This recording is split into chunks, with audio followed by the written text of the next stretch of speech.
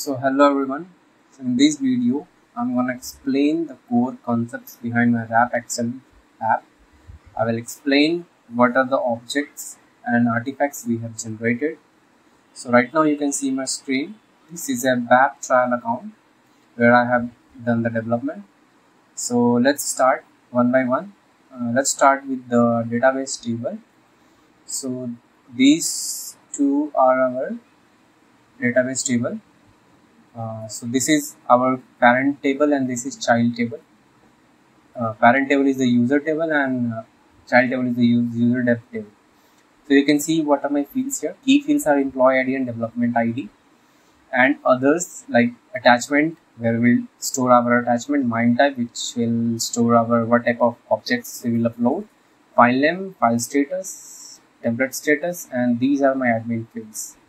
And the user dev we have our employee id development id serial number an object type and object name. All these things you can change according to your requirement okay? Now another two table which we have created is our draft table which is user d uh, user underscore d and user dev underscore d one thing to note here that you must include this structure this admin structure. Otherwise you will trying to when you will try to activate your uh, behavior implementation I will throw an error if you don't include this structure. So must you must include this structure.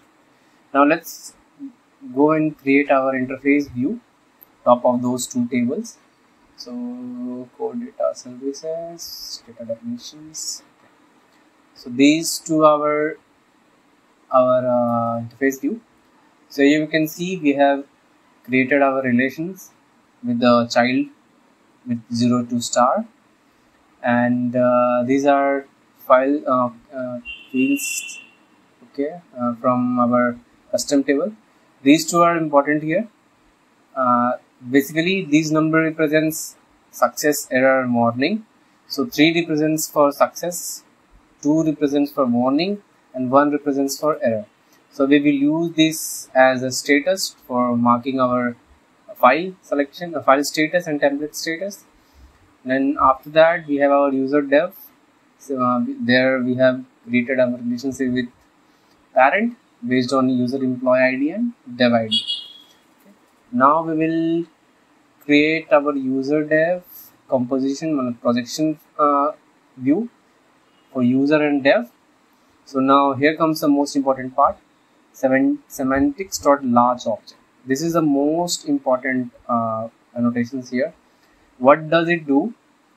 So basically it gives uh, like it guides sap that uh, this particular column will be used for storage for a particular large object means like excel uh, pdf jpg so it it's guide it, it tells sap this RAP framework that okay this will be used to upload large objects. So here we can see our MIME type is excel so this is our large object large object. And uh, make sure you map this MIME type here with the correct name okay as it is file name no spelling mistake okay. And yes and also try to uh, don't try to form like don't forget to add this line because what it does it it, it creates a relation with your child and based uh, accordingly in your uh, with your parent in the compose uh, in the projection. Now we have created these two also. Now next comes the most important uh, another part which is metadata extension. So we will create metadata extension for our look and feel to improve the look and feel of our uh, app okay? So so you can see here our metadata extension file.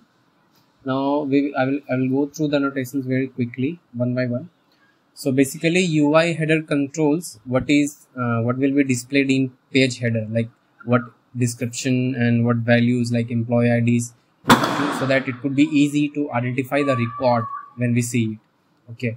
Then the ui facet uh, describes like divides our object page into various sections subsections and grouping the fields for better view better readability we can say. So here first is our uh, header okay so header like basically it summarizes the key status okay? Like you can all use anything to display but it basically to summarize the key values here. We can say like as you can see i have used file status template status file changed okay? So basically the annotations you can see data point reference. So basically data point reference is is like uh, to highlight something like to some important field value you can say often with some colors visual indicator with specific formatting you can say. Okay. So here and for that we need target qualifier because how it will know that uh, which one to refer for this one uh, for changing uh, highlighting those fields and all. That's why we have given specific uh, target qualifier for each of them. Okay. As you can see here we have given. Now here comes the collection part so collection is like a box okay? Inside box it's a it's a big box under under which we can put our multiple boxes okay? So this is a parent box collection we can say. Inside this we have two uh, structures you can say two uh, tables we can table not structure we can say. Column you can say. Better we could call it a column. So the, under this big column there is two small small column okay? Which is a uh, stand like user info and log detail and identification reference is like just a unique id and it could be used only once. Okay that's why uh, we have created field group reference not like used identification reference. Okay so field group, group reference will add another column parallel to this column.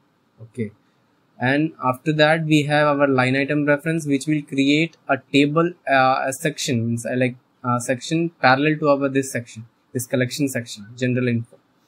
Okay so and line item use you know to uh, change the to make visual like to which what columns should be visible when you're opening the app. And selection field is to give our filter filter column like what what columns you want to use for filtering. Okay? So and these are our action buttons. We have defined upload excel and download excel. Okay? These are the annotations we use to define. And yeah data point here the we will use our qualifier for the for the respective columns or uh, whatever we feel we, we want uh, to describe like to see in our header part like object facet header part.